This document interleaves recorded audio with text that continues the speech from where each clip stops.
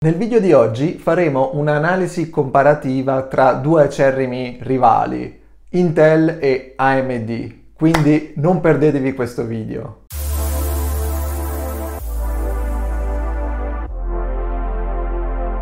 Ciao, io sono Davide e se ti piace la finanza personale, gli investimenti e il value investing, allora potresti considerare l'idea di iscriverti a questo canale attivando la campanella se non vuoi perderti due video a settimana che parlano proprio di questi argomenti. Il metodo con cui faremo questa analisi comparativa è lo stesso adottato sull'altro video fatto tra Coca-Cola contro Pepsi, quindi se te lo sei perso ti lascio il link in descrizione. Questa analisi quindi verrà fatta confrontando i vari indici e rapporti delle due aziende relativi a redditività, profittabilità, valutazione, eccetera. Prima di iniziare però vorrei fare un disclaimer per ragioni di uh, trasparenza e correttezza vi devo dire che io ho in portafoglio una di queste due aziende e se seguite da un po' il mio canale avrete capito ormai quale de- delle due ho in portafoglio. Ditelo voi. Esatto, Intel. Ma banda alle ciance, andiamo a vedere subito questa analisi comparativa. Eccoci qua ragazzi con questa nostra analisi. Allora, abbiamo Intel contro AMD. Prima differenza le dimensioni, ok? E questo, come vedremo in seguito, secondo me è una differenza importante. Allora, come potete vedere, la capitalizzazione di Intel è 226 miliardi, 92 quella di AMD. Seconda dato, secondo me, che potrebbe interessare ad alcuni di voi è il beta. Il beta inferiore ad 1 vuol dire che è un'azienda meno volatile mediamente del mercato, un beta superiore ad 1 vuol dire che è più volatile del mercato. Come potete vedere, AMD è un'azienda che regala un bel po' di emozioni perché abbiamo un beta superiore a 2, quindi vuol dire che la volatilità di AMD è doppia rispetto a quella del mercato. Di conseguenza già qua potreste scartare AMD se ad esempio non vi piacciono le forti emozioni, non vi piacciono le montagne russe. Se invece, come me, ve ne frega poco di come si muove un'azione, allora andiamo avanti non considerando questo, questo parametro. Abbiamo il prezzo, abbiamo il learning per share, fatturato, già qua potete vedere che il fatturato di, di Intel è molto più è grande, molto più elevato di AMD, così come l'utile netto. Quindi stiamo parlando di, diciamo, Davide contro Golia a livello di fatturato e utili. Andiamo a vedere però alcuni indicatori che ci possono far capire meglio le performance delle due aziende. Redditività, ad esempio, i tre classici indicatori ROE, ROA e ROIC, dove AMD vince a mani basse, ok? Quindi per quanto riguarda la redditività AMD stravince, Lisa Su, che è l'amministratore delegato di AMD, da quando è arrivata AMD ha, fatto, ha, fatto, ha dato veramente una nuova vita a questa azienda, stanno facendo un lavoro fantastico e i numeri parlano chiaro. AMD riesce a sfruttare molto meglio il capitale a disposizione rispetto ad Intel, molto più efficiente da questo punto di vista e i risultati in borsa chiaramente seguono i fondamentali dell'azienda. Infatti AMD negli ultimi anni è schizzato come prezzo. Marginalità. Qua invece si ribalta un po' la situazione perché Intel presenta i, le marginalità migliori e questo sicuramente è dovuto al fatto che ha delle fonderie interne di proprietà, quindi Intel riesce ad autoprodursi diciamo, i processori e non avendo un intermediario di mezzo che ad esempio potrebbe essere TSMC per uh, eh, AMD riesce a strappare dei prezzi migliori, oltre che chiaramente ad avere un maggior controllo sulla produzione, sulla qualità dei prodotti e così via. Quindi da questo punto di vista Intel vince, anche se come potete vedere man mano che andiamo a scendere nella marginalità arriviamo al net income margin, non è che c'è questa differenza così esagerata. E la differenza si va a ribaltare nel caso del free cash flow margin, nel senso che AMD riesce a, fare dal, a ricavare dal fatturato il 24% di free cash flow. E questo è un dato molto interessante. Vuol dire che Intel è vero che fa un mare di soldi in più rispetto ad AMD, però alla fine gliene rimangono di meno in tasca, perché Intel è diventato ormai un elefante nel corso di, di decenni, nel senso che da semplicemente chip maker, produttore di processori, è diventata un'azienda operativa in diversi ambiti, va a realizzare memorie, eh, opera nel clouding, opera nell'intelligenza artificiale e così via. Quindi quando hai tanti segmenti da seguire, può capitare che non sei competitivo in tutti i segmenti e chiaramente le, margina- le marginalità si vanno a far benedire.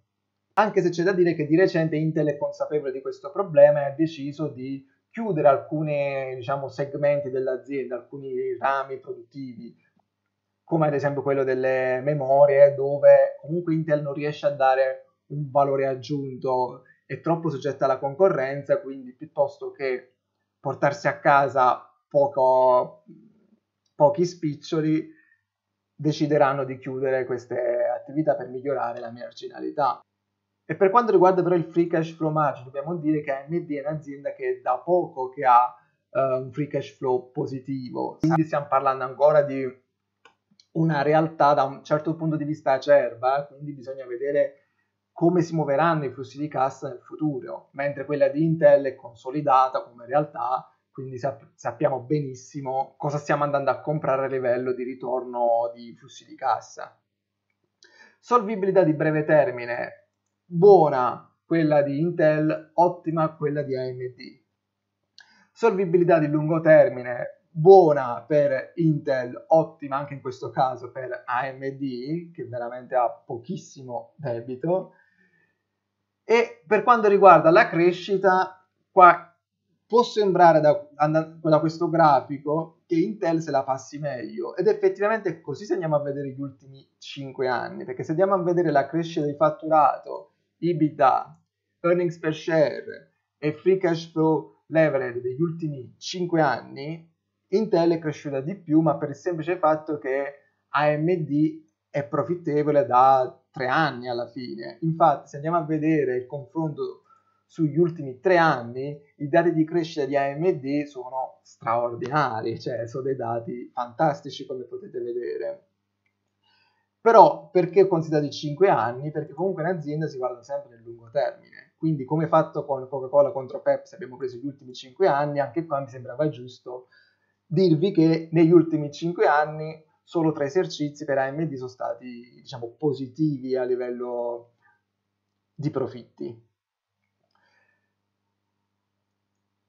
Per quanto riguarda invece i dividendi, AMD non dà dividendi, mentre Intel può essere un'ottima azienda da dividendi soprattutto in prospettiva, quindi chi cerca dividendi mh, sul lungo termine, anche quindi dividendi in crescita, Intel potrebbe essere una buona scelta perché innanzitutto ha un dividend yield del 2,35% che comunque per un'azienda high tech non è male, ma soprattutto ha un payout ratio basso del 27%, quindi vuol dire che c'è tanto margine, tanto spazio per aumentare questi dividendi in futuro.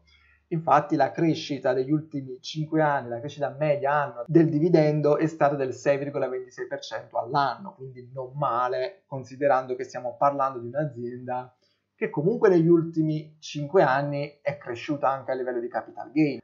Valutazione e qua secondo me fa questa, quest'ultimo blocco fa tanta tanta differenza. Comunque come potete vedere AMD ha dei multipli molto più alti rispetto ad Intel, ok? Guardate ad esempio il PE parliamo di più del doppio, price to sales parliamo del triplo e tutti gli altri valori come potete vedere sono tutti molto più alti rispetto all'Intel.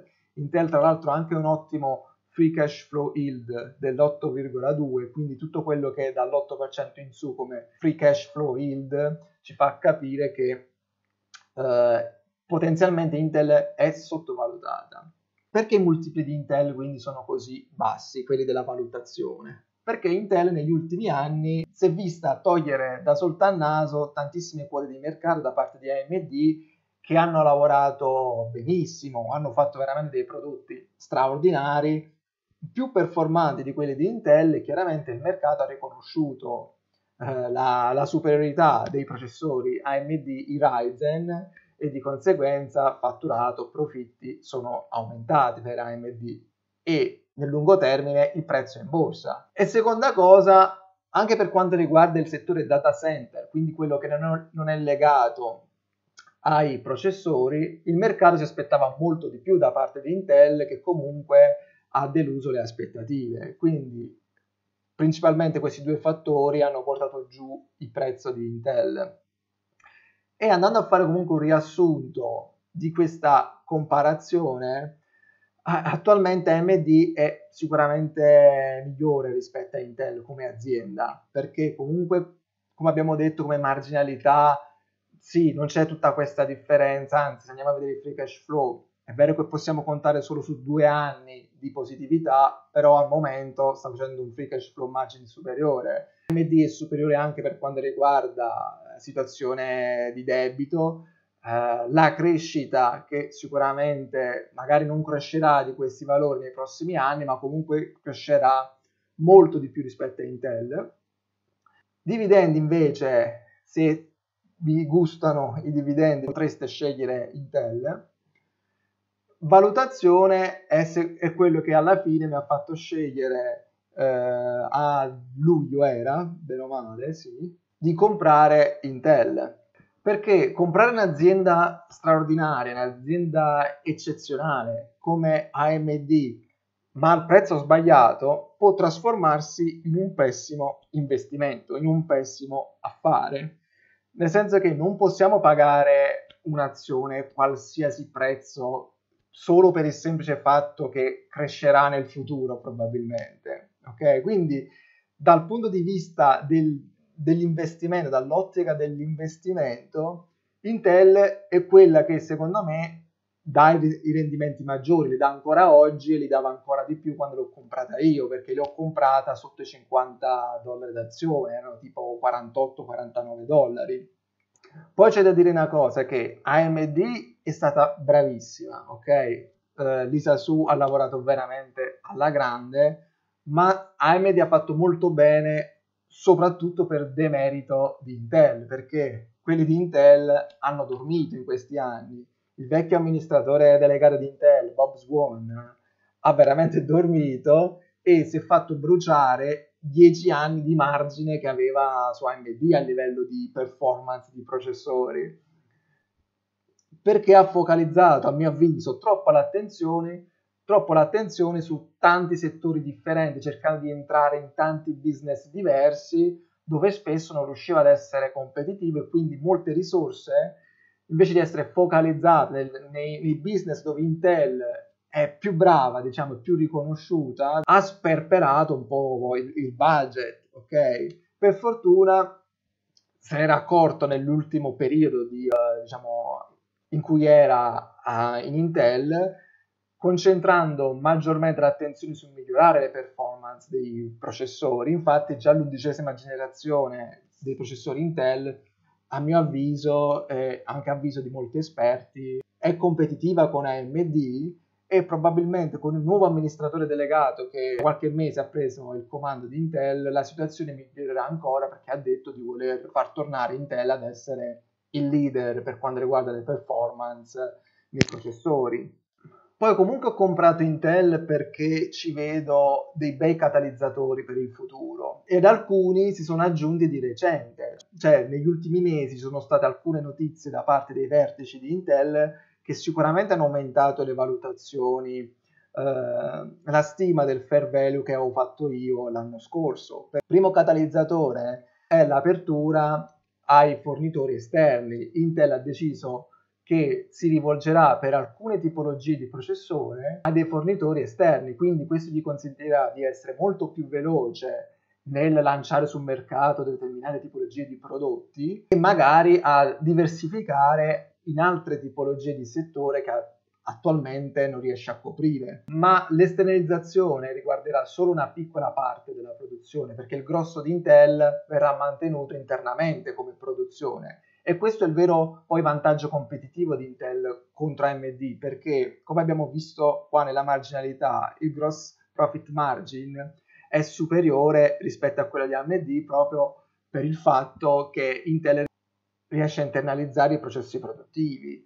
Poi altro catalizzatore positivo per il futuro è che Intel ha deciso che faranno il conto terzi, cioè sarà Intel a creare processori per chi ne farà richiesta. Quindi sono un'azienda che ha bisogno di un processore, non lo so, per il mio drone o per la mia auto, Intel pot- potrebbe fornire il servizio di realizzazione del processore, ok? E in una situazione di deficit di processori sul mercato, che stiamo vivendo adesso, questa di Intel mi sembra veramente un'ottima mossa. Terzo catalizzatore è uh, Mobileye. Mobileye è un'azienda che fa parte del gruppo di Intel che ha acquistato qualche anno fa, attivo nella guida autonoma e che ha visto negli ultimi anni raddoppiare i propri risultati a livello di uh, ricavi e profitti, in quanto è attualmente l'unica azienda al mondo ad aver risolto il problema della mappatura delle varie aree geografiche per quanto riguarda poi la guida autonoma, perché eh, gli altri, i suoi competitor hanno bisogno di mappare una determinata area prima di poterci mettere poi un veicolo che si guida da solo, mentre con la tecnologia di Mobileye questo non è richiesto, non è necessario, perché sfrutta un complesso sistema di telecamere per funzionare, quindi attraverso la vista, diciamo, riesce, sfruttando l'intelligenza artificiale, riesce a capire quando fermarsi, quando dare la precedenza, quando far passare un pedone, quando c'è una buca e così via, cosa che i competitor non riescono a fare se non hanno invece una mappatura a disposizione dell'area, che chiaramente nel tempo può anche cambiare e attualmente Mobileye sta lavorando con BMW, Volvo, NIO, Volkswagen per fornire questi, questa tecnologia. Anzi, ce n'è di più, nel 2023, quindi tra un paio d'anni, è già previsto il lancio di un servizio di uh, delivery di merce, di prodotti, uh, dove ci sono in pratica dei van senza autista, quindi proprio senza la, gab- la cabina di guida, che, che, andranno per la città a far consegne da soli e chiaramente il vantaggio è che va a eliminare il costo del guidatore e va a fare maggiore spazio perché non essendoci eh, la cabina possiamo mettere più merce all'interno di questo van. Entro il 2028 di questi van è programmato la produzione di 35.000 veicoli. Okay? Quindi secondo me questo di Mobileye è un fattore, è un asset che il mercato sta sottovalutando di Intel. Ritornando al settore di processori, secondo me Intel tornerà ad essere presto, nel giro di poco tempo, di nuovo il leader incontrastato dei processori, perché questo è un settore dove il prodotto conta molto, dove le prestazioni e le performance del prodotto fanno tutta la differenza. Infatti, nonostante Intel fosse il brand dominante dei processori da decenni, AMD è riuscito a rubare parecchie quote di mercato perché faceva dei prodotti semplicemente migliori, più performanti, processori più veloci ma essendo questo un, un, settore dove il capitale, il budget conta tanto perché più investi in ricerca e sviluppo, più riesce a fare prodotti performanti, Intel riesce a sovraspendere la concorrenza, riesce a spendere molto di più in ricerca e sviluppo rispetto ad AMD, perché se nell'ultimo anno AMD ha speso in ricerca e sviluppo 2 miliardi di dollari, Intel ne ha spesi 13,5, ok? Quindi se Intel mette tra i suoi piani di creare i migliori processori in assoluto e quindi di riprendersi la leadership del mercato, come hanno deciso di fare effettivamente, è questione di tempo che tornino a fare Intel, che tornino a fare i leader.